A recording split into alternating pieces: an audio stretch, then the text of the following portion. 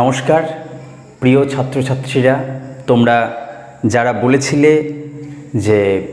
রবীন্দ্রনাথ ঠাকুরের লেখা চিত্রাঙ্গদা নৃত্যনাট্য এবং কাব্যনাট্য সম্পর্কে আলোচনা করতে আজকের আলোচনাটি তাদের জন্য এবং এছাড়াও যারা জানতে চাই যে এই চিত্রাঙ্গদা নাটকটির মধ্যে কি রয়েছে যার কারণে রবীন্দ্রনাথকে আমরা একটু ভিন্নভাবে দেখতে পারি তো সেই রকম রসপিপাসু বাঙালি পাঠকদের জন্য আজকের এই আলোচনা তো আমি অবশ্যই চেষ্টা করব সবচেয়ে সহজ সরলভাবে আলোচনা করার তোমরা যারা ক্লাস নির্ভর অর্থাৎ এক কথায় পরীক্ষার প্রস্তুতি নিচ্ছ যেমন ধরো গৌরবঙ্গ বিশ্ববিদ্যালয়ে এই চিত্রাঙ্গদা নাটকটি রয়েছে গ্র্যাজুয়েশনে সিক্স সেমিস্টারে এবং অন্যান্য ইউনিভার্সিটিতেও থাকতে পারে তো যারা এই আলোচনাটি শুনছো তোমরা তোমাদের পরীক্ষার প্রস্তুতির জন্য তারা অবশ্যই কাগজ কলম নিয়ে বসো এবং যেভাবে আমি পার্ট বাই পার্ট পুরো নাটকটিকে আলোচনা করে দেখাবো তোমাদের সামনে ঠিক সেইভাবে প্রতিটা অঙ্ক একেবারে নিখুঁতভাবে আলোচনাগুলো শোনো প্রত্যেকটা অঙ্ক ধরে ধরে পুরো এগারোটা অঙ্কে বিভক্ত আছে এই নাটকটি আমি যথাসম্ভব চেষ্টা করব যাবতীয় যত ধরনের প্রশ্ন হতে পারে সমস্ত প্রশ্ন নিয়েই সামগ্রিক একটা সারসংক্ষেপ আলোচনা করার চেষ্টা করব এবং চেষ্টা করব সবচেয়ে সহজ সরলভাবে যেন তোমাদের তোমরা যেন বুঝতে পারো বিষয়টিকে তারপরেও যদি কারো কোথাও কোনো সমস্যা থাকে অবশ্যই কমেন্ট করবে আমি কমেন্টের নিশ্চয়ই উত্তর দেবো আর তারপরেও যদি কোনো সমস্যা থাকে কোনো প্রশ্ন নিয়ে বা আরও ধর এই ধরনের কোনো আলোচনা চাও তাহলে অবশ্যই কমেন্ট করে জানাবে আমি সময়ের মধ্যে চেষ্টা করব সেই সব বিষয় নিয়ে আলোচনা করার তো যারা এই আলোচনাটি দেখছো তাদের কাছে অনেক বেশি অনুরোধ আমার কাছে তোমরা লাইক কমেন্ট করে জানাবে যে তোমাদের আদৌ কাজে লাগছে কি না তোমরা সাথে আছো কি না এই আলোচনাগুলোর তাহলে আমি ইন্সপায়ার হব অনেক বেশি এবং পরবর্তীতেও এই ধরনের অন্যান্য সবচেয়ে জটিল বিষয় যেগুলো নিয়ে ইউটিউবে তোমরা নিশ্চয়ই এতক্ষণ সার্চ করে নিয়েছো ইউটিউবে এই চিত্রাঙ্গদাকে ব্যাখ্যা করা হয়নি কোনো চ্যানেলে তো আমারও একটু সময় লাগলো কারণ আমার এটা পড়া ছিল না মূলত তো পড়তে এটাকে আয়ত্ত করতে এবং এখান থেকে সামগ্রিক আলোচনা তৈরি করার জন্য যে প্লট প্রয়োজন আলোচনার সেটার জন্য প্রস্তুতি নিতে আমার একটু সময় লেগে গেল তো তোমরা অবশ্যই এটাকে শেয়ার করো শেয়ার করে তোমাদের বন্ধুদের মধ্যে এটাকে ছড়িয়ে দাও বিষয়টি সবার কাছে পৌঁছে যাক সবাই ভালো করে পরীক্ষা দিক কেমন এবং তোমরা নিজের মতো করে উত্তর লেখার চেষ্টা করবা আর আমি খুবই শীঘ্রই দু একদিনের মধ্যেই কিন্তু এই ভিডিওটা যেদিন আপলোড করব তার ঠিক দুই একদিনের মধ্যেই কিন্তু আমি সাজেশন তোমাদেরকে দিয়ে দিব তো সাজেশনগুলো তোমরা সার্চ করে দেখে নিতে পারবে এবং প্রত্যেকটা টপিক বিষয় সবচেয়ে গুরুত্বপূর্ণ প্রশ্নগুলোকে এবং যে প্রশ্নগুলো বারবার বিভিন্ন ইউনিভার্সিটিতে ঘুরেছে পরীক্ষায় ঘুরেছে কোশ্চেনগুলো সেগুলোই আমি দিয়ে তোমাদেরকে একটা সম্ভাব্য প্রশ্নমালা কিন্তু তৈরি করেছি তো অবশ্যই যে প্রশ্নটা হয়তো চলে এসেছে বা যে ধরনের প্রশ্ন চলে এসেছে ওই ধরনের প্রশ্নটাকে বাদ দিয়ে বাকি প্রশ্নগুলো তোমরা চেষ্টা করবা সেক্ষেত্রেও তোমরা কমেন্ট করে জানাতে পারবে কেমন তো শুরু করা যাক আজকের আলোচনা আজকের আলোচনাটা হচ্ছে চিত্রাঙ্গদা কাব্যনাট্য বলা হয় মানে এক কথায় নাটক কিন্তু কবিতার স্টাইলে তাই কাব্যনাট্য আরেক দিক থেকে এই নাটকটা হচ্ছে কি নৃত্যনাট্য নাচের মধ্যে দিয়ে গানের মধ্যে দিয়ে সংলাপের মধ্যে দিয়ে এই নাটকটা সম্পূর্ণ হয়েছে তাই রবীন্দ্রনাথ ঠাকুরের একটা অত্যন্ত গুরুত্বপূর্ণ উল্লেখযোগ্য নাটক হচ্ছে এই চিত্রাঙ্গদা যেটাকে কাব্যনাট্যও বলা যায় আবার পাশাপাশি নৃত্যনাট্যও বলা যায় তো রবীন্দ্রনাথ ঠাকুর এই চিত্রাঙ্গদা চরিত্রটা পেলেন কোথা থেকে তাই তো দেখো মহাভারতে পাঁচ ভাই পাণ্ডব তাদের মধ্যে সবচেয়ে শক্তিশালী ধনুর্বিদ্যায় পারদর্শী যে চরিত্রটিকে আমরা পাই তার নাম অর্জুন অর্জুনের এক স্ত্রীর নাম ছিল চিত্রাঙ্গদা আমরা এই নাটকে পড়তে পারব চিত্রাঙ্গদা আর অর্জুনের প্রথম সাক্ষাৎ তাদের মধ্যে প্রেম রোমান্টিকতা এবং সৌন্দর্যবোধ তাদের সংলাপের মধ্যে এত চমৎকার খেলা করেছেন তারা মানে রবীন্দ্রনাথ ঠাকুর এত সুন্দরভাবে তুলে ধরেছেন তোমরা যারা আগ্রহী এটাকে একদম সঠিকভাবে মূল বিষয়টাকে জানতে চাও তারা অবশ্যই পরীক্ষা দেওয়ার পরে কেমন পরীক্ষাটাকে দিয়ে দাও তোমরা তারপরে টেক্সট একবার পড়ার চেষ্টা করবো কারণ এই সময়টা টেক্সট পড়তে গেলে তোমাদের সমস্যা হয়ে যাবে কারণ খুব অল্প দিন আছে আর পরীক্ষার জন্য তো আমি এই সময়টাতে চাপ দেবো না টেক্সট পড়ার পরবর্তীতে টেক্সট পড়ে বা খুব বেশি বড় নেই এবং এই আলোচনা শোনার পর তোমরা যদি পড়ো পুরো বিষয়টা জলের মতো সহজ লাগবে এবং খুবই মজা পেয়ে যাবে তোমরা ঠিক আছে তো এই নাটকটা তিনি রচনা করেছেন কটক নামক জায়গায় থেকে এবং ঠিক সে যে সময়টা চলছিল তখন আঠাশে ভাদ্র আর বারোশো আটানব্বই বঙ্গাব্দ সময় তখন রবীন্দ্রনাথ ঠাকুর এটা রচনা করেছেন তো সাধারণত তোমাদের এখন মনে হতে পারে যে এই নাটকের চরিত্র কি মনে থাকে যেন যে কোনো উপন্যাস যে কোনো নাটক যে কোনো গল্পের প্রধান কেন্দ্রে কয়েকটা চরিত্র থাকে আর অপ্রধান মানে গৌণ কয়েকটা চরিত্র থাকে কেমন এই নাটকেও আছে এই নাটকের সবচেয়ে গুরুত্বপূর্ণ যে চরিত্রগুলো সেগুলো হচ্ছে চিত্রাঙ্গদা মূল নাটকটার নাম যাকে দিয়ে চিত্রাঙ্গদা এক পুরুষ চরিত্র হচ্ছে অর্জুন আর দুজন দেবতা চরিত্রের কথা বলা হয়েছে দুজন দেবতা একটা হচ্ছে মদন আরেকটা হচ্ছে বসন্ত কেমন এই দুটি চরিত্র এরা একদম সক্রিয় চরিত্র এক দুই তিন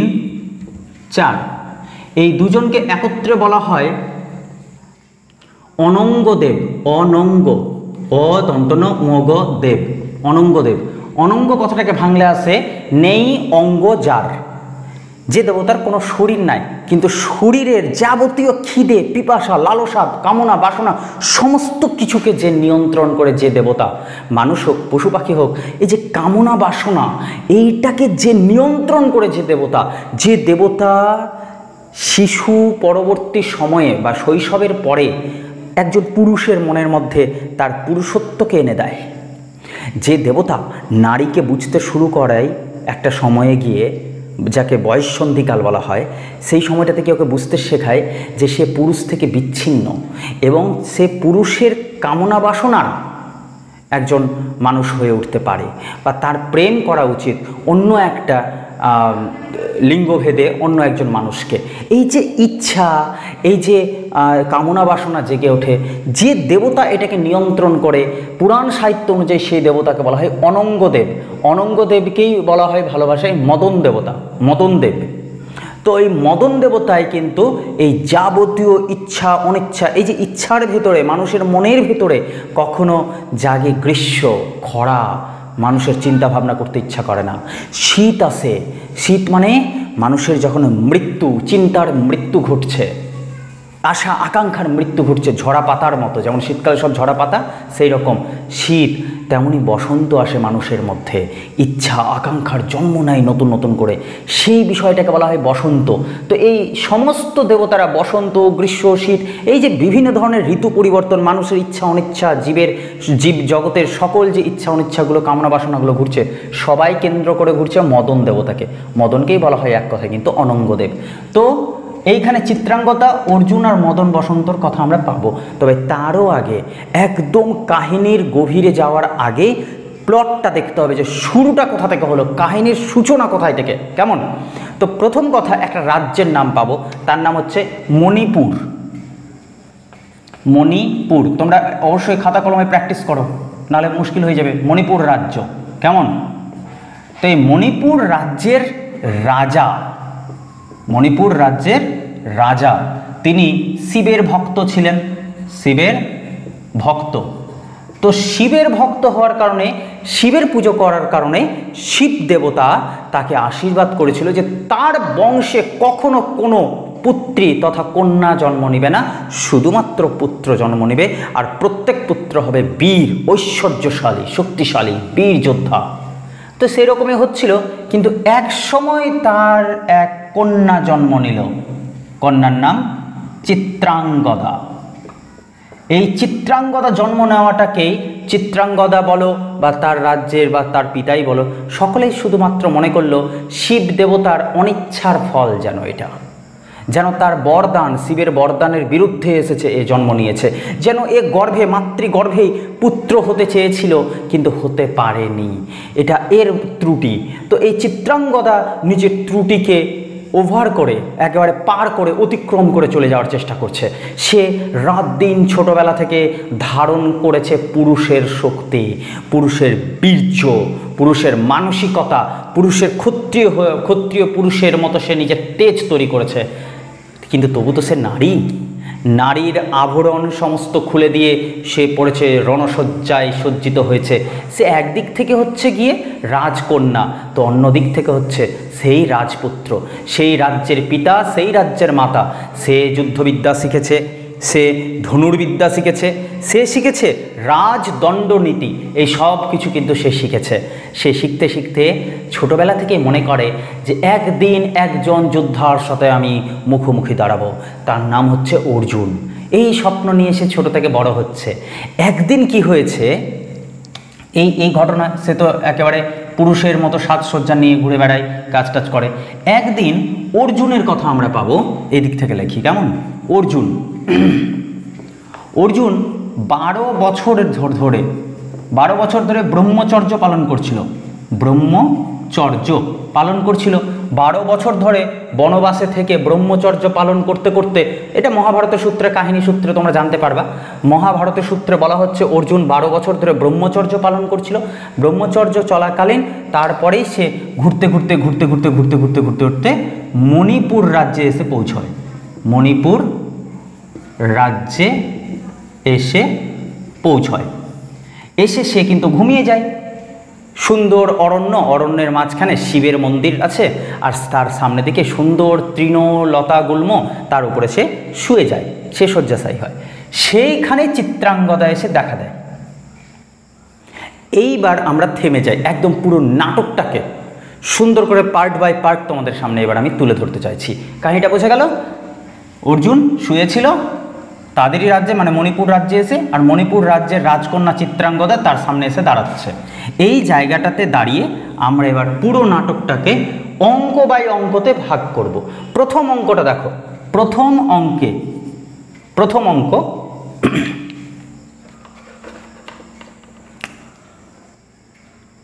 প্রথম অঙ্ক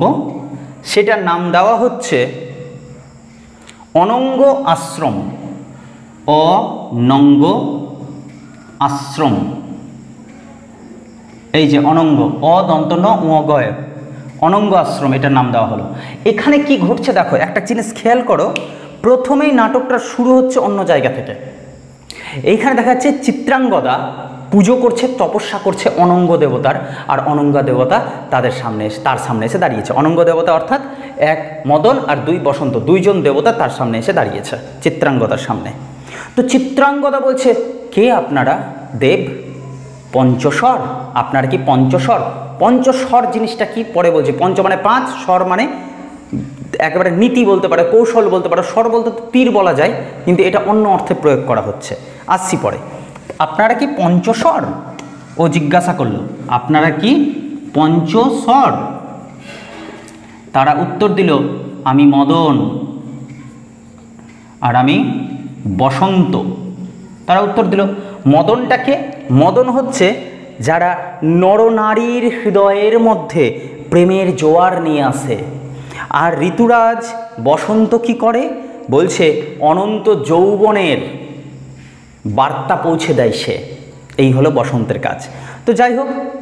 সে তাদের সামনে যখন আসলো চিত্রাঙ্গদা চিত্রাঙ্গদা যখন তাকে ডাকলো এবং মন প্রাণ দিয়ে পুজো করার কারণে তারা দেখা দিলেন দুজনে তো তারা জিজ্ঞাসা করলো কে তুমি কি চাও তখন বলছে দেখুন আমার পিতা চেয়েছিল পুত্র আমি হলাম কন্যা আমার পিতার দুঃখের কারণ আমি আমি সারা জীবন ভেবেছিলাম এই পুরুষের মতো জীবন নিয়ে কাটাবো পুরুষের মতো হয়ে কাটাবো কিন্তু ঘটল আমার জীবনে একটা পরিবর্তন আমি সেদিন আমাদের শিবালয়ের পাশ দিয়ে যাচ্ছিলাম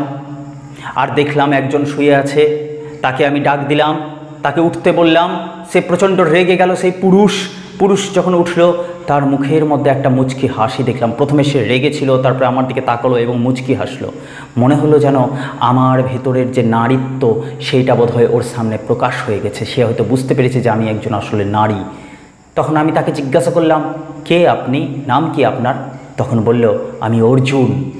তো অর্জুন কথাটা শোনার পরে আমি চমকে উঠেছিলাম আর চমকে উঠেই আমি কি করব বুঝে উঠতে পারছিলাম না যার সাথে আমি এতদিন যুদ্ধ করব সেই স্পর্ধা নিয়ে স্বপ্ন দেখেছি তার চরণের নিচে যে ঘাসগুলো আছে সে ঘাস হতে আমার বড় ইচ্ছা করছিল তখন আমি তার প্রেমে পড়েছি আমি তো এতদিন কোনো পুরুষের সেই রকমভাবে আকর্ষণ বোধ করিনি আজ কেন এমনটা হলো সঙ্গে সঙ্গে মদন দেবতা বলছে ও আমারই কাজ আমি ঠিক সময়ে ঠিক মানুষটির মধ্যে ওই আশা আকাঙ্ক্ষাটা যে জাগিয়ে দিই তারপরে বলো কি হলো তখন মেয়েটা বলল অর্থাৎ চিত্রাঙ্গদা বলছে যে আমি অবাক হয়ে তাকিয়ে দেখলাম তাকে আর সে আমার সামনে দিক দিয়ে নিজের পরিচয় দিয়ে চলে গেল কোথায় আমি দেখতে পেলাম না আমার বড় দুঃখ হলো যার জন্য স্বপ্ন দেখেছি এতদিন তাকে এত সামনে থেকে দেখে একবার প্রণাম পর্যন্ত করলাম না আশ্চর্য তখন আমি কি করলাম বাড়িতে ফিরলাম বাড়িতে ফিরেই আমি কিন্তু সঙ্গে সঙ্গে নিজের সমস্ত রূপ তৈরি চেঞ্জ করতে মানে পরিবর্তন করতে শুরু করলাম আমি যে একজন নারী এই নারীর রূপ নিয়ে আসতে চাইলাম কারণ আমাকে দেখার পরেও অর্জুনের মনের মধ্যে কোনো খিদা পিপাসা লালসা কামনা বাসনা তৈরি হলো না কেন হলো না তো আমি আবার পুনরায় তারপরের দিন গেলাম সেই শিবালয়ে আর দেখলাম সেই ব্রহ্মচারী পুরুষ সেখানে বসে আছে তপ করছে আমাকে দেখে সে চমকে উঠল আমি তাকে বললাম যে আমি তোমার প্রণয়ী হতে প্রণয়ী হতে চেয়েছি কিন্তু সে আমাকে স্পষ্ট বলল ব্রহ্মচারী ব্রতধারী আমি প্রতিযোগ্য নহি বরাঙ্গনে হে নারী হে বীরঙ্গনা নারী আমি তোমার পতি হওয়ার যোগ্য নয় আমি একজন ব্রহ্মচারী পুরুষ এই কথা শুনে আমি দুঃখে বেদনায় অর্থাৎ চিত্রাঙ্গদা বলছে আমি দুঃখে বেদনায় বাড়িতে ফিরে নিজের ঘরে ফিরে সমস্ত তীর ধনুক ভেঙে ফেললাম আমি দুঃখের সাথে বুঝলাম যে আমার মধ্যে এমন কোনো বিদ্যা নাই যে কারণে কোনো পুরুষকে আমি কামনা বাসনার কারণে আকর্ষণ করতে পারবো তো আজ আমি তোমার সহজায় সহযোগিতা চাই আমার মধ্যে এমন শক্তি দাও যেন আমি পুনরায় তার সামনে গেলে সে আমার জন্য উন্মাদ হয়ে ওঠে আমার জন্য পাগল হয়ে ওঠে মদন দেবতা তখন তাকে বলল আমি হব সহায় তোমার বিদ্রোহীরে করিও শাসন অর্থাৎ তোমার বিদ্রোহী না সে তোমাকে দুঃখ দিয়েছে যাও তুমি তাকে শাসন করবে আমি তোমাকে সহায় করছি আমি তার মধ্যে তোমার প্রতি অনেক প্রেম তৈরি করবো আর তোমার মধ্যে সৌন্দর্য তৈরি করব। সঙ্গে সঙ্গে সে বলছে আমার যদি একটা শক্তি থাকতো নিজের তাহলে আমি দেবতা আপনাদের সহযোগিতা চাইতাম না আমার সুন্দর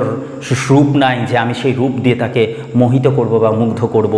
আমি যদি শক্তি সামর্থ্য থাকতো আমার রূপ থাকতো আমাকে যদি সে ভালোবাসতো তাহলে আমি হয়তো তার সঙ্গী হতে পারতাম তার সারথি হতে পারতাম আমি কিন্তু তার কান্নাকাটি করা নারী হয়ে তার পাশে থাকতাম না আমি সবসময় বীরের সাথে বীরাঙ্গনা হয়ে বাঁচতাম যাই হোক সে বলল আমাকে একদিনের জন্য এমন সৌন্দর্য আমাকে দিন যেন আমি সেই সৌন্দর্যে উন্মাদ করে দিতে পারি সেই পুরুষকে আমি যেন তার ব্রহ্মচর্য ভেঙে ফেলতে পারি সঙ্গে সঙ্গে মদন দেবতা বলল তথাস্তু কিন্তু বসন্ত দেবতা বলল এক বছরের জন্য আমি তোমাকে এই আশীর্বাদ দিলাম তোমার সৌন্দর্য এক বছরের জন্য অপরি মানে একেবারে পরিপূর্ণ সৌন্দর্য থাকবে যার জন্য উন্মাদ হয়ে থাকবে সে সবসময় এই কথা বলল বসন্ত দেবতা এই ঘটনা গেল এক নম্বরে এবার চলে আসি আমরা দুই নম্বরের বিষয়ে দ্বিতীয় বিষয় দ্বিতীয় অঙ্ক দ্বিতীয় অঙ্কটার নাম দেওয়া হলো মণিপুর অরণ্যে শিবালয় মণিপুর অরণ্যে শিবালয় অরণ্যে শিবালয় মানে বুঝলি তো তার পরের দিন থেকে কিন্তু খেলাটা শুরু অর্থাৎ এইবারে কিন্তু তার সাথে দেখা করতে যাচ্ছে চিত্রাঙ্গদা অর্থাৎ দেবতার আশীর্বাদ পাওয়ার পর সে যাচ্ছে অর্জুনের সাথে দেখা করতে তো গেছে অর্জুনের হঠাৎ করে কি হলো সে তার বারবার মনে পড়ছে সেই যে সরোবর তীরে একজন মেয়েকে সে দেখলো তারপর থেকে তার কথা এত তার কেন মনে পড়ছে আসলে কি ঘটেছে মদন দেবতা কিন্তু তার মধ্যে কামনা বাসনা জাগিয়ে দিয়েছে চিত্রাঙ্গদার প্রতি ফলে চিত্রাঙ্গদাকে সে যতটুকু দেখেছিল তাতেই তার কিন্তু এবার আকাঙ্ক্ষা জেগে উঠেছে তার প্রতি তার সৌন্দর্য নিয়ে তার বারবার বারবার কিন্তু মনে প্রশ্ন আসছে এত সুন্দর নারীকে সে কী করে আর দেখ দেখলো না দ্বিতীয়বার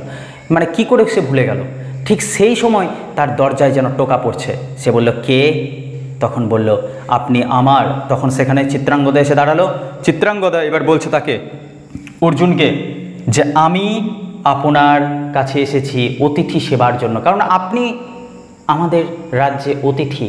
আর আমি হচ্ছে এই রাজ্যের একজন উপযুক্ত কর্মী সে নিজের পরিচয় দিল না যে আমি হচ্ছে এখানকার রাজকন্যা মানে আমি হচ্ছে চিত্রাঙ্গদা সে বলছে আপনি আমাদের এই রাজ্যে এসেছেন আমি আপনার অতিথি সেবার জন্য এসেছি অর্জুন প্রশ্ন করল তুমি কে এত সুন্দরী এমন অপার সৌন্দর্য কার মধ্যে থাকতে পারে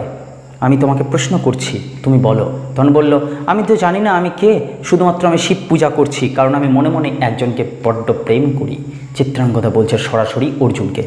অর্জুন তো অবাক হয়ে গেছে অর্জুন ভীষণ ভালোবাসতে শুরু করেছে তাকে তার সৌন্দর্য এত চমৎকার সৌন্দর্য তখন চিত্রাঙ্গদার মধ্যে কারণ তাকে বসন্ত দেবতা আশীর্বাদ দিয়েছে এক বছরের জন্য সে অপার সৌন্দর্যে পরিপূর্ণ হয়ে উঠবে তখন সঙ্গে সঙ্গে অর্জুন বলছে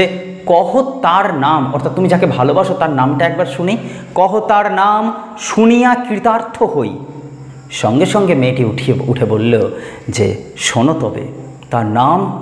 অর্জুন গান্ডীব ধনু ভুবন বিজয়ী সেই অর্জুন বীর যাকে আমি ভালোবাসি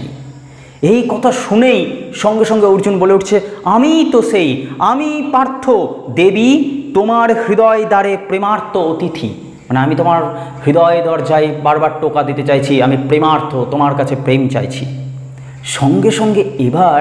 বিদ্রোহীকে সে শাস্তি দিবে অর্থাৎ অর্জুনকে সে শাস্তি দিতে চাইছে অর্জুনকে তার কেমন যেন ভালো লাগছে না কারণ সে জানে দেবতার কৌশলেই অর্জুন আজকে তাকে ভালোবাসছে অর্থাৎ এই ভালোবাসার মধ্যে অর্জুনকে সে সম্পূর্ণ যেন পাচ্ছে না অথবা অর্জুন যাকে চাইছে সে আসলে চিত্রাঙ্গদা নয় কিন্তু চিত্রাঙ্গদার একটা অন্য মুখোশ বাস্তবিক চিত্রাঙ্গতা যে পাচ্ছে না তাকে তো চিত্রাঙ্গতার হৃদয়ে কিন্তু এটার ব্যথা থেকে যাচ্ছে সে হঠাৎ করে বলে উঠল তুমি আমার জন্য নিজের ব্রহ্মচর্য ভেঙে ফেললে আমি যে বারবার মনে করব যে তুমি অর্জুন হয়েও হতে পারলে না যে অর্জুনকে আমি মনে প্রাণে নিজের হৃদয়ের দেবতার জায়গায় বসেছি সেই অর্জুন যে আজ অনার্জুনে পরিণত হচ্ছে অনর্জুন সে তো অর্জুন নয় এত বীর তুমি আমার ভালোবাসায় এতটা উন্মাদ হয়ে উঠলা যে নিজের ব্রহ্মচর্য ভেঙে দিতে চাও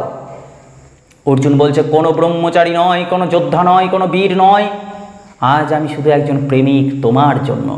সঙ্গে সঙ্গে বলে উঠল না এই প্রেম তোমার নয় এই প্রেম আমার জন্য নয় তুমি জানো না হে পুরুষ আমি নহি আমি নহি হায় পার্থ হায় কোন দেবতার ছলনা যাও যাও ফিরে যাও অর্জুন এটা কথা বুঝতে পারলো না কি বলতে চাইল চিত্রাঙ্গদা কিন্তু এইখানে হাহাকার জানিয়ে কিন্তু চিত্রাঙ্গদা ছুটে আসছে পালিয়ে আসছে সেখান থেকে কি জানি কেন তার এত দুঃখ তৈরি হলো হঠাৎ করে এই জায়গা থেকেই দ্বিতীয় অঙ্কটা শেষ হলো এবার তৃতীয় অঙ্ক শুরু তৃতীয় অঙ্কে দেখা যাচ্ছে চিত্রাঙ্গদা একটা বেশ কিছুটা দূরে তৃণের উপরে ঘাসের উপরে শুয়ে আছে কেমন তরু তলে চিত্রাঙ্গদা তরু তলে চিত্রাঙ্গদা চিত্রাঙ্গদা গাছের নিচে সুন্দর জায়গায় বিছানা করে শুয়ে আছে আর তার সারা শরীরের উপরে সুন্দর সুন্দর ফুল ঝরে পড়ছে চিত্রাঙ্গদা বারবার মনে করছে এত রূপ আমার এত রূপ যে অর্জুন আমার জন্য পাগল আহ সেই যে অবাক দৃষ্টি নিয়ে আমার দিকে তাকাচ্ছিল সে কি আনন্দ সেই ভীষণ আনন্দ আমি কি করব যে ফাল্গুনিকে আবার আমি দেখতে চাই ফাল্গুনি বলতে অর্জুন বাস্তবে ফাল্গুনিকে আমি আবার কখন দেখতে পাবো হঠাৎ করে তার ঘুম আসে ঘুমের মধ্যে স্বপ্নের মধ্যে সে দেখে কোনো এক ব্রহ্মচারী পুরুষ তার সামনে এসে দাঁড়িয়েছে হঠাৎ চোখ খুলে আর সত্যি সত্যি দেখতে পায় সত্যি আছে সেই অর্জুন এসে দাঁড়িয়েছে তার সামনে সঙ্গে সঙ্গে সে আবারও বলে তুমি কি করতে এসেছো এখানে তখন বললো আমি যে রস ও পিপাসু তোমার সৌন্দর্য আমি উন্মাদ আমি পাগল তোমার কাছে নিজেকে ধরা দিতে এসেছি অর্জুন বলল সঙ্গে সঙ্গে সে মেয়েটি বলল না না তুমি ফিরে যাও ফিরে যাও তুমি আমাকে চাও না তুমি আমাকে ভালোবাসো না তুমি এক মোহ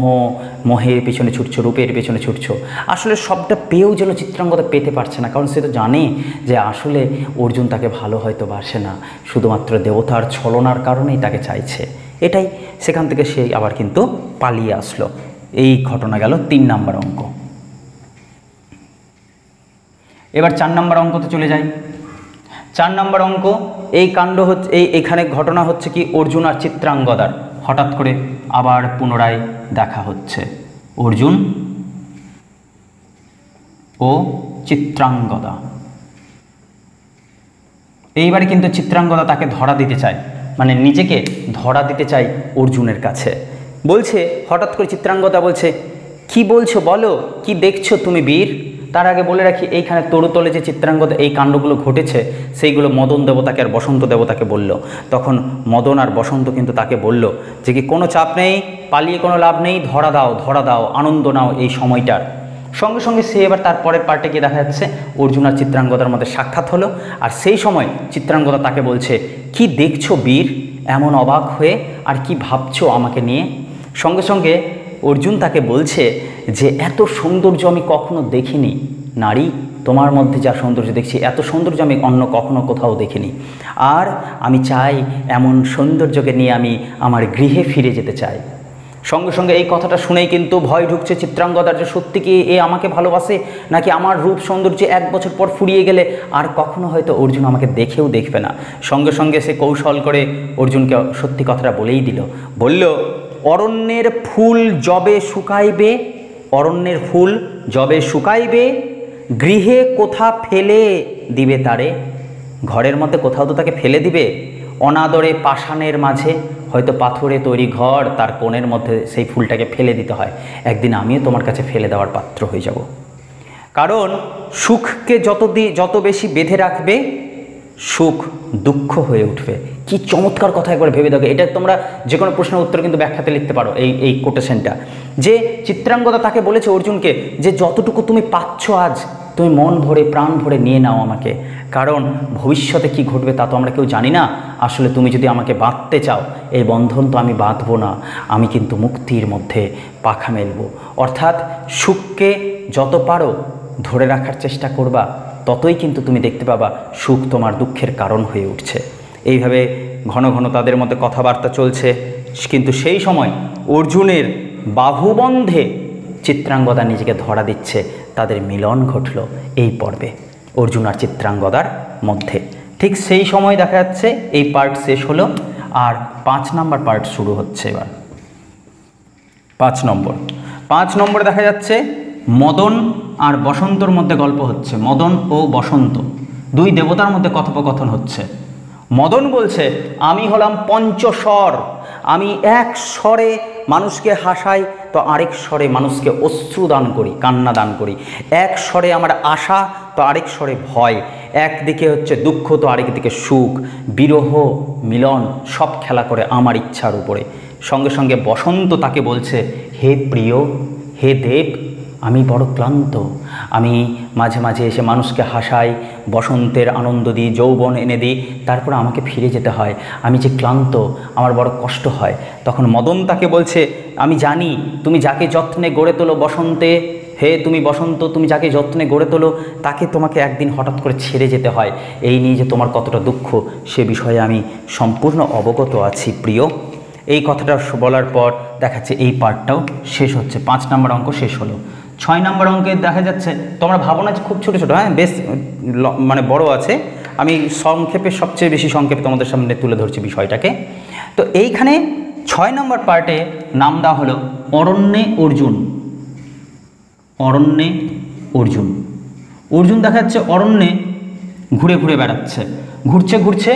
আর অনেক পশু পাখি দেখে ভাবছে একদিন আমরা পাঁচ ভাই পাণ্ডব মিলে বনের মধ্যে ঘুরে বেরিয়েছি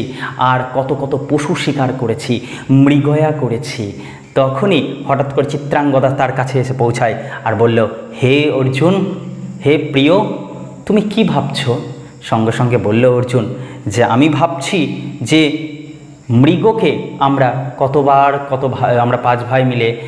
তারা করেছি মৃগয়া করেছি সেই আনন্দময় দিন কোথায় হারিয়ে গেছে আজ আমি পুনরায় এক মৃগকে ধরতে বেরিয়েছি অর্থাৎ আমি চিত্রাঙ্গদাকে ধরতে বেরিয়েছি মানে তো ও তো জানে না যে এই চিত্রাঙ্গদা বললো তোমাকে আমি ধরতে বেরিয়েছি সঙ্গে সঙ্গে কিন্তু চিত্রাঙ্গদা তাকে বলছে যে আচ্ছা শোনো অর্জুন তুমি আজ যে মায়া মৃগকে দেখতে পাচ্ছ তাকেই প্রথম তো ধরো আগে তারপরে তুমি অন্য মৃগয়ার কথা ভাবিবে যতক্ষণ সময় আছে ততক্ষণ তুমি আমাকে নাও এইভাবে করে সে কিন্তু কৌশলে বলে দিল ওর মধ্যে একটা কামনা বাসনা একটা প্রেম প্রচণ্ড বিরহ বেদনা কাজ করছে কিন্তু সেটা গোপনে বিরহ বেদনাটা প্রেমটাই বাইরে সে আনতে চাইছে কারণ সে জানে সময় তার কাছে ফুরিয়ে আসছে অনেকটা দিন হয়ে গেছে এক বছর হতে চলেছে ঠিক সেই সময় দেখা যাচ্ছে মদনা চিত্রাঙ্গদার পুনরায় একটা গল্প আসছে অর্থাৎ আমরা এবার দেখব সাত নাম্বার পার্ট সাত নম্বর পার্টে দেখব মদন ও চিত্রাঙ্গদা মদন ও চিত্রাঙ্গদা দেখো কি বলছে এবার হঠাৎ করে অর্জুনকে সে ভীষণ ভালোবেসে ফেলেছে ভালোবেসে ফেলেছে নাকি অর্জুনকে সে স্বীকার করেছে ভালো করে ভেবে দেখো তার মানেটা কি অর্জুন নিজে ভাবছে সে ব্যাধ আর সে পশু শিকার করতে পারে কিন্তু ওকেই আসলে চিত্রাঙ্গদা ব্যাধ হিসাবে চিত্রাঙ্গদা নিজে ব্যাধ হয়ে তাকে পশু হিসেবে শিকার করে নিয়েছে যেন এই মনের কষ্ট দুঃখে সে জর্জরিত চিত্রাঙ্গদা চিত্রাঙ্গদা মদন দেবতাকে বলছে হে মদন দেব আমি এই সৌন্দর্যের জালে সেই পুরুষকে ধরে ফেলেছি সে আর যেতে পারে না আমার ভেতরটা মাঝে মাঝে বিজয় হওয়ার সুখে কেঁদে উঠছে হাসছি কাঁদছি আমি কিন্তু বারবার মনে হচ্ছে এই খেলা যেদিন ভেঙে যাবে সেদিন বড় ভয় হবে খেলা ভাঙতে আমার একটু ইচ্ছা করছে না সঙ্গে সঙ্গে মদন দেবতা বলছে ভাঙবে কেন খেলা খেলা চলুক কারণ শিকার যখন করতে বেরিয়েছ শিকার করার ক্ষেত্রে কোনোভাবে দয়া দেখাতে নেই তাই তুমি শিকারে যখন বেরিয়েছ এই প্রেমের শিকারে খেলা করো আনন্দ নাও সময় অল্প এই সময়টাকে উদযাপন করো তোমরা এইভাবে করে মদন চিত্রাঙ্গতাকে অনেক বোঝালো এরপর চিত্রাঙ্গদা আবার পৌঁছে যাচ্ছে অর্জুনের কাছে আট নাম্বার পার্ট এই পার্টের নাম দেওয়া হলো অর্জুন ও চিত্রাঙ্গদা অর্জুন ও চিত্রাঙ্গদা এবার অর্জুন আর চিত্রাঙ্গদা দেখো মদন দেবতা চিত্রাঙ্গদাকে বলেছে মনের কোনো দুঃখ রাখবে না আনন্দে তুমি তার সাথে মেলামেশা করো তার মধ্যে তার সাথে প্রেমের খেলা করো সঙ্গে সঙ্গে অর্জুন জিজ্ঞাসা করছে হঠাৎ করে চিত্রাঙ্গদাকে হে প্রিয়তমা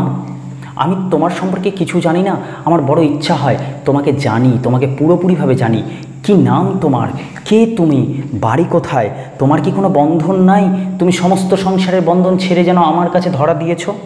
সঙ্গে সঙ্গে চিত্রাঙ্গদা তাকে অন্যভাবে গুছিয়ে বলছে আমি হচ্ছি এক বিন্দু শিশিরের মতো যেখানে সেখানে পড়ে আছি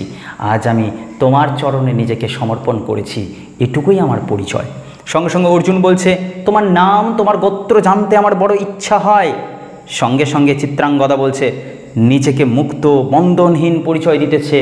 খুশি হয় তাই সে বলে যে আমার নাম গোত্রতে কিছু এসে যায় না আমি তোমার প্রিয়তমা সেটুকুই জানো তোমার যতটুকু প্রয়োজন আমার থেকে নাও আমার রূপ নাও আমার যৌবন নাও আমাকে আনন্দ দাও তুমি আনন্দে থাকো তোমার আনন্দেই আমার আনন্দ আমার পরিচয়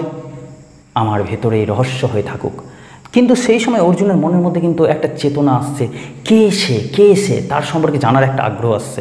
এই কাহিনী গেল এরপরে চলে আসছে গিয়ে নয় নাম্বার অংশ নয় নম্বর অংশটা খুবই সুন্দর একটু বড় আছে কিন্তু খুব সুন্দর নয় নম্বর অংশে নয় নম্বর অংশটায় আসছে বনচরগণ বনচরগণ যারা বনবাস বনবাসী তাদের কথা বলা হচ্ছে ও অর্জুন এদের মধ্যে সংলাপ হচ্ছে কথোপকথন বেশ কিছু তখন কিন্তু অর্জুনের কাছে চিত্রাঙ্গতা নেই কিন্তু অর্জুন আছে অর্জুনের সামনে দিক দিয়ে বেশ কিছু বনের মানুষরা যাতায়াত করছিল তারা বলল যে দুঃখ ভয় আমাদের জীবনে একটা ভয় নেমে আসছে অর্জুন জিজ্ঞাসা করলো কিসের ভয় তোমাদের তখন বলল উত্তরের পর্বত থেকে দস্যুরা আসছে আমাদের রাজ্যে আক্রমণ করতে আমাদেরকে বাঁচানোর এখন কেউ নাই সঙ্গে সঙ্গে অর্জুন বলল আশ্চর্য এই রাজ্যে কেউ রক্ষক নাই বলছে আছে তো আমাদের রক্ষক হচ্ছেন একজন নারী একজন আমাদের রাজকন্যা চিত্রাঙ্গদা বীর সে তখন অর্জুন অবাক হয়ে বলল একজন নারী হচ্ছে রক্ষক তখন বলছে হ্যাঁ সে শুধু নারী নয় সে নারী একদিকে আমাদের পিতা একদিকে আমাদের মাতা সে একই ধারে বীর কন্যা একই ধারে সে রাজ্যের রাজা সমস্ত শক্তিতে সে শক্তিমান সে থাকলে আমাদের কোনো ভয়ই থাকে না কিন্তু কিছুদিন হলো সে গেছে ব্রত উদযাপন করতে সে গেছে তীর্থ পর্যটনে গেছে সে অনেক দিন থেকেই নেই এই চিত্রাঙ্গদা এই কথাটা যখন বলল অর্জুন অবাক হয়ে গেল আশ্চর্য ঠিক তারপরে বনচরগণ চলে গেল সেখান থেকে প্রস্থান করলো আর ঠিক সেই সময় দেখা যাচ্ছে চিত্রাঙ্গদা সেখানে প্রবেশ করছে নারীরূপী সুন্দর হয়ে সেজে এসেছে অর্জুনের কাছে তখন চিত্রাঙ্গদাকে অর্জুন বলল যে জানো এই রাজ্যের যে রক্ষক সেই নারীর নাম চিত্রাঙ্গদা কেমন দেখতে সে চিত্রাঙ্গদা তাকে বলছে কেমন আবার দেখতে পুরুষের মতো ঘুরে বেড়ায় ভালো না বাজে তাকে তোমার একদম পছন্দ হবে না অর্থাৎ সে নিজে নিজের মানে নিন্দে করছে এক কথায় কেমন যেন হিংসা করছে নিজেরই একটা অংশকে নিজেই কিন্তু হিংসা করছে আশ্চর্য সঙ্গে সঙ্গে চিত্রাঙ্গদা বলছে যে চলো আমাদের সময় নষ্ট করে লাভ নেই আমরা পাতার ছায়ায় গাছের ছায়ায় বসে বিশ্রাম করি সুন্দর সময়টাকে উদযাপন করি অর্জুন বলছে শোনো আমি দস্যুদেরকে বিতাড়িত করে আসছি দস্যুদের সাথে লড়াই যুদ্ধ করে আসছি কারণ এই রাজ্যে আমি আছি এই রাজ্যের প্রজাদের কিছু তো কর্তব্য করা উচিত প্রজাদের হয়ে চিত্রাঙ্গদা বলছে না না আমাদের যে রক্ষক ছিলেন চিত্রাঙ্গদা রাজকন্যা তিনি সমস্ত ব্যবস্থা ব্যবস্থা করে গেছেন হ্যাঁ ওগুলো নিয়ে ভাবতে হবে না তখন অর্জুন বলছে না না সে একজন নারী হয়ে এত কিছু করে গেছে তারপরেও অনেকের ভয় আছে তো রাজ্যটার একটা কিছু কাজ আমি করে যাই রাজ্যটার জন্য কিছু তো মানে আমার কাজ করা উচিত আমি ক্ষত্রিয় বংশের পুত্র সন্তান আমাকে অবশ্যই মানুষের কল্যাণের জন্য এগোতে হবে সঙ্গে সঙ্গে তো তাকে চিত্রাঙ্গদা বলছে না তুমি যদি যাও তাহলে আমাকে হারাবে কারণ এই সুন্দর সময় দ্বিতীয়বার ফিরে আসবে না হতে পারে আমি আর কখনো ফিরবো না তুমি কেন চলে যেতে চাইছো কেন আনন্দ সময়টাকে তুমি নষ্ট করছো সঙ্গে সঙ্গে অর্জুন অবাক হয়ে কি যেন ভাবতে শুরু করলো সঙ্গে সঙ্গে চিত্রাঙ্গদা তাকে জিজ্ঞাসা করছে কি ভাবছো তুমি তখন সঙ্গে সঙ্গে অর্জুন তাকে বলছে ভাবছি সেই বীরাঙ্গনা চিত্রাঙ্গদার কথা কেমন সে সে ঘোড়ায় যখন ছোটে সে যখন অস্ত্র নিয়ে ছোটে কেমন লাগে তাকে দেখতে চিত্রাঙ্গদা বলছে আরে নারী হয়ে পুরুষের মতো সাজসজ্জা করে ঘুরে বেড়ায় কেমন আবার লাগবে তার মধ্যে শুধু অভাবে অভাব সে পুরুষকে ভোলাতে জানে না তার এই অভাব সঙ্গে সঙ্গে অর্জুন বলছে না আমার বারবার মনে হচ্ছে যদি তার সাথে আমি একই সাথে পাশাপাশি ঘুরতে যেতে পেতাম তার সাথে আমি ছুটে যেতাম যুদ্ধের পথে কেমন হতো অর্থাৎ অর্জুন সত্যিকারের চিত্রাঙ্গদাকেই চাইছেই যেন আর চিত্রাঙ্গতা সেটাই এখন আর মেনে নিতে চাইছে না যেন চিত্রাঙ্গতা তাকে বলছে তোমার সেই রূপ ভালো লাগবে না তার সেই রূপ ভালো না ভালো না সঙ্গে সঙ্গে অর্জুনের কেমন একটু খটকা লাগলো তার কথায় সঙ্গে সঙ্গে বলছে তোমার কথা আমি ঠিক বুঝতে পারছি না হে প্রিয়তমা তোমার রহস্য আমি উন্মোচন করতে পারছি না বারবার মনে হচ্ছে তোমাকে যখন দেখি আমি তুমি একটা অন্য কেউ কিন্তু আমি তোমাকে দেখি অন্য কেউ হিসাবে তুমি কে তোমার হাসির মুখ দেখি কিন্তু মনে হয় তোমার হৃদয়ে অনেক কান্না বসে আছে তুমি কে তুমি নিজেকে পূর্ণরূপে মেলে ধরো সঙ্গে সঙ্গে চিত্রাঙ্গতা এবার কেঁদে ফেলেছে কাঁদতে শুরু করেছে চুপ করে থেকে কাঁদতে শুরু করেছে অর্জুনের বড় মায়া হলো সে তাকে বলল কেঁদো না কেঁদো না যখন তুমি রহস্যটাকে লুকিয়ে রাখতে চাও তবে থাকুক আমার কিচ্ছু জানার ইচ্ছে নেই শুধু তুমি আছো আমার পাশে এই আমার অনেক এই কাহিনী শেষ হলো এখানে এক বছর হতে চলেছে প্রায় আর মাত্র একটা দিন দশ নম্বর অধ্যায় শুরু এই অধ্যায়ের নাম বা এই অঙ্কের নাম দিল মদন কমা বসন্ত আর চিত্রাঙ্গদা এইখানে চিত্রাঙ্গদা সরাসরি এসেছে মদন আর বসন্ত দেবতার সামনে মদন দেবতা বলল আজ তোমার জন্য শেষ রাত্রি কালকেই তোমার মধ্যে সমস্ত সৌন্দর্য সরে যাবে তুমি আবার পুনরায় নিজের যেটা রূপ সেই রূপে চলে আসবে চিত্রাঙ্গদা বলছে তবে দাও আমাকে শেষ রাত্রির জন্য আরও বেশি করে সাজিয়ে দাও সৌন্দর্যে মুগ্ধতায় যেন উন্মাদ হয়ে পড়ে অর্জুন আমার জন্য পাগল হয়ে যায় মদন আর বসন্ত দেবতা তাকে বলল তথাস্তু বলে দিয়ে এই অঙ্কটাও শেষ হলো শেষ অঙ্ক এবার সমাপ্তি অঙ্ক এগারো নম্বর অঙ্ক এই এগারো নম্বর অঙ্কটার নাম দেওয়া হলো শেষ রাত্রি শেষ রাত্রি অর্জুন ও চিত্রাঙ্গদা অর্জুন ও চিত্রাঙ্গদা নাম দেওয়া হলো এইখানে কি হলো চিত্রাঙ্গদা সরাসরি সমস্ত কথাই যেন চিত্রাঙ্গদাই বলবে দেখো প্রথমে কি বলছে চিত্রাঙ্গদা এসে অর্জুনকে বলছে হে প্রিয়তম অর্জুন আমার যত গন্ধ যত সৌন্দর্য যত মধু সব দিয়েছি তোমাকে প্রভু আরও যদি কিছু বাকি থেকে থাকে সব নিয়ে নাও আজকের জন্য কারণ যদি সব তোমার নেওয়া শেষ হয় তাহলে আমাকে জানাও আমাকে আজ্ঞা করো প্রভু নির্মাল্যের ডালি এতদিন যে মালা দিয়ে তোমাকে আমি সাজিয়েছি সেই সব আজ মন্দিরের বাহিরে ফেলে দিয়ে আসি যে ফুলে করেছি পূজা নহি আমি কভু সে ফুলের মতো প্রভু এত সুমধুর এত সুকমল এত সম্পূর্ণ সুন্দর আমি নই দোষ আছে আমার দোষ আছে গুণ আছে পাপ আছে পুণ্য আছে কত দৈন্য আছে আছে আজন্মের কত অতৃপ্ত তিয়াসা অবাক হয়ে অর্জুন শুনছে কি বলছে এগুলো কথা কেন বলছে ঠিক সেই সময় ঘটল সূর্যোদয় মানে সেই দিন শেষ হলো সূর্যোদয় হলো আর সঙ্গে সঙ্গে তার সমস্ত সৌন্দর্য চলে গেল তার অবগুণ্ঠন খুলে ফেলল সে নিজের আসল রূপে আসলো চিত্রাঙ্গদা বীরাঙ্গনা নারী সে বলল মনে পড়ে সখা অর্জুন হে প্রভু মনে পড়ে সেই প্রথম দিনের কথা সেই সরোবর তীরে শিবালয়ে আমি তোমার সামনে প্রথমবার দেখা দিয়েছিলাম তুমি আমাকে দেখে একবারের জন্য চোখ তুলে মন ভরে তাকিয়ে দেখো সেই দুঃখ নিয়ে আমি সেই চিত্রাঙ্গদা সেই দুঃখ নিয়ে আমি সেই রাজেন্দ্র নন্দিনী বয়ে বেড়াচ্ছি তোমার পেছনে পেছনে আমি মদন দেবতা আর বসন্ত দেবতার কাছ থেকে আশীর্বাদ নিয়ে এক বছরের জন্য এত রূপবতী হয়ে তোমার সামনে এসেছিলাম তুমি আমাকে ভালোবেসেছ কিন্তু জানি আমার এই রূপ দেখার পর হয়তো তুমি আমাকে আর ভালোবাসবে না কিন্তু মনে রেখো তুমি যদি আমাকে চাও মনে রেখো আমি চিত্রাঙ্গদা পূজা করি রাখিবে মাথায় সেও আমি নই মানে আমাকে তুমি পূজা করে একদম সাজিয়ে রাখবে সেই নারী কিন্তু আমি না আবার অবহেলা করি পুষিয়া রাখিবে পিছে সেও আমি নয় মানে অবহেলা করে সরিয়ে রাখবার আমি তোমার সাথে সাথে থাকবো এটাও আমি কিন্তু নয় আমি বীরাঙ্গনা যদি চাও বন্ধু হিসাবে আমি তোমার পাশে থাকব